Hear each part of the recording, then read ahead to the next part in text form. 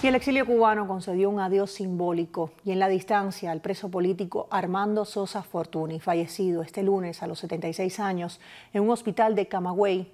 El presidio político y la Asamblea de la Resistencia en Cuba le rindieron tributo en una conferencia de prensa en Miami, en la que estuvo presente nuestro reportero Ricardo Quintana.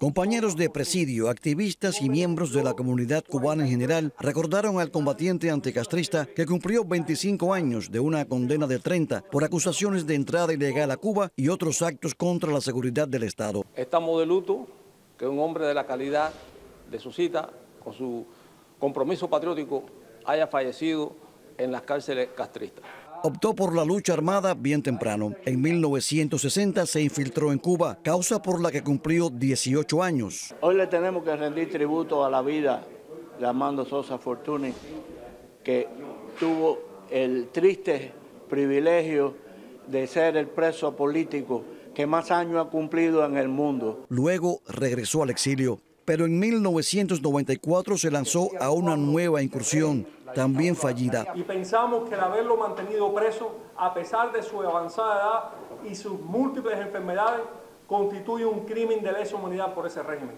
Fue condenado a 30 años de privación de libertad. Según la definición jurídica aceptada universalmente, cuando un derecho humano es violado como resultado de una política de Estado consistentemente, constituye un crimen de lesa humanidad. Víctor, su primo y único familiar en Cuba, dijo a Televisión Martí que el cadáver será cremado.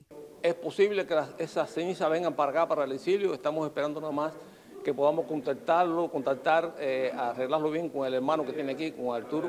Y si las cenizas vienen para acá, como tenemos eh, entendido que pueda suceder, entonces van a reposar en el lugar que tenemos aquí en la casa del preso, donde están otras urnas de expresas y expresos. Hoy su fotografía se suma a la galería de los cubanos que perdieron la vida combatiendo al castrocomunismo. Sumadas las dos sentencias, en su haber tiene un encierro de 43 años que lo hace no solo el preso político cubano de mayor edad, sino uno de los que más tiempo permaneció en cautiverio en el mundo.